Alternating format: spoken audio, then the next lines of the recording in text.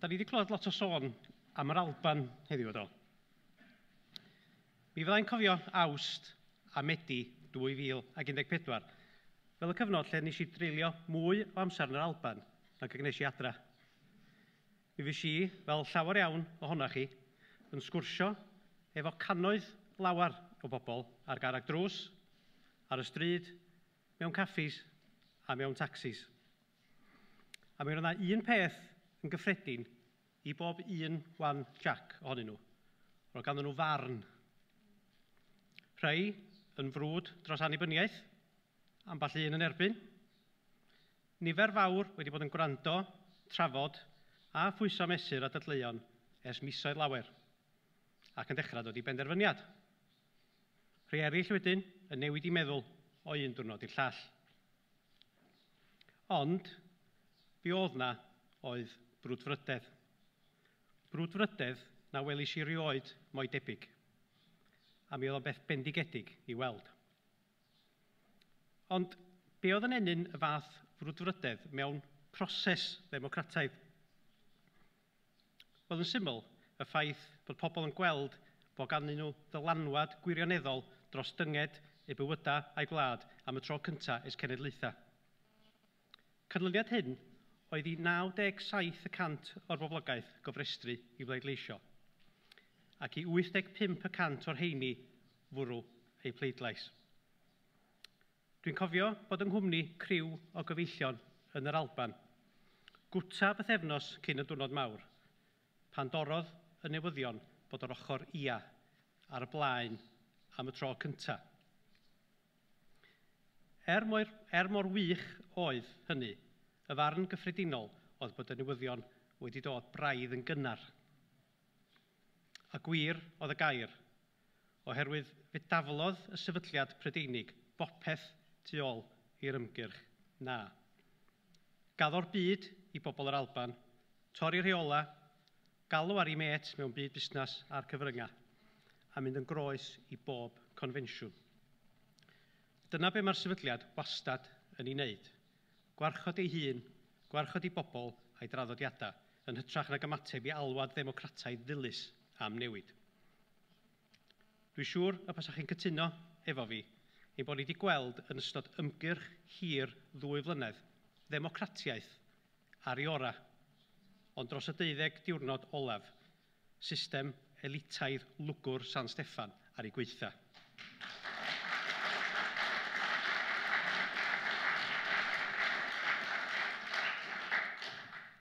Ond mae digwyddiadau'r Alban wedi newid bob dim. Mi ydan ni ar drothwy cyfnod newydd, cyffroes.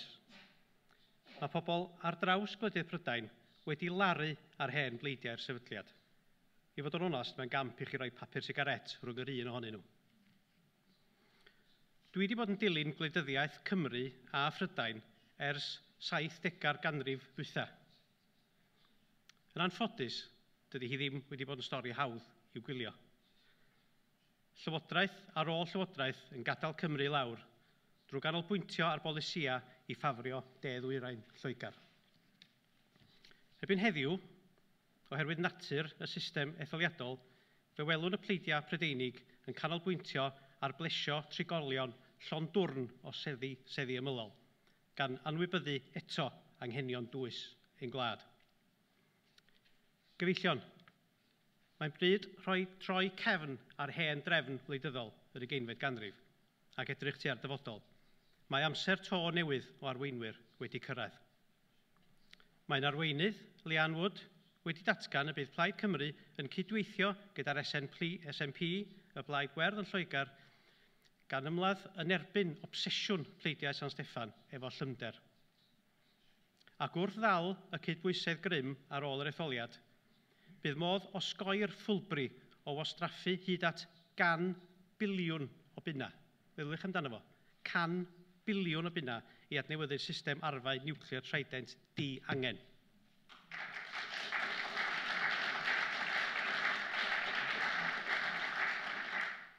Lle mae'r negas yn glir ydy? Os ydych chi'n byw yn yr Alban, pleidleisiwch i'r SNP yn Lloegar i'r Gwyrddion. Ac os ydych chi'n byw yma yng Nghymru, pleidleisiwch i Blaid Cymru.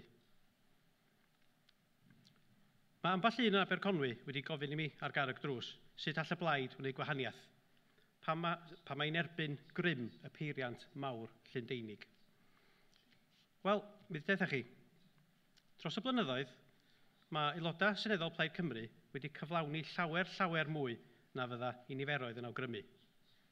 Er nad oes erioed wedi bod fwy na phedwar aelod ar yr un pryd, mae llwyddiannau nhw yn ddigon i godi cwilydd ar y pleidiau mawr.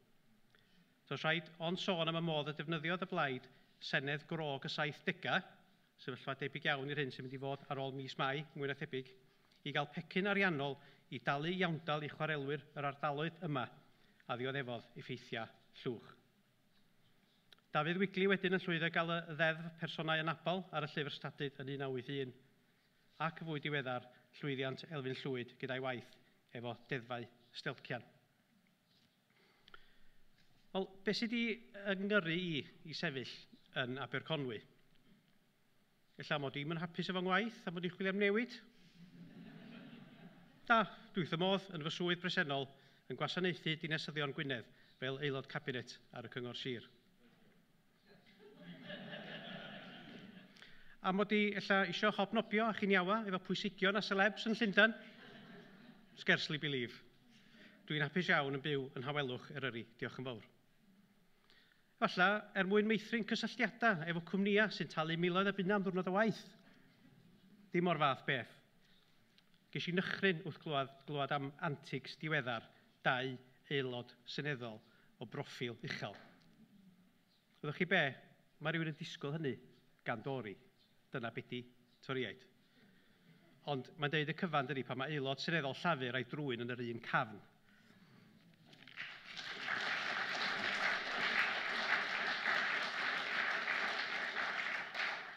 Na, mae yna ddau reswm penodol. Yn gyntaf, dwi am wasanaethu pobl Aber Conwy a trio helpu nhw i'w amddiffyn rhag y gweitha yma San Steffan am ei daflu ata ni. Ac yn air, ac yn ail ydy agenda'r blaid yn erbyn llymder. Po fwyaf o aelodau seneddol y cawn ni ym mis Mai, y mwyaf fydd ein dylanwad yn y Senedd Grog, a'r mwyaf tebygol y bydd, y bydd y gallu, y gallwn ni wrth sefyll y polisiau sydd wedi bod mor niweidiol i'n cymunedau ni.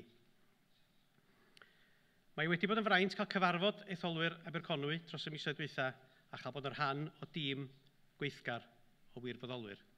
A dwi am eich gadael chi mewn i gyfrinach bach o fan hyn. Os weithio ni mor galad a da ni wedi bod yn neud hyd yn hyn, mi fyddwn ni'n ennill Aberconwy.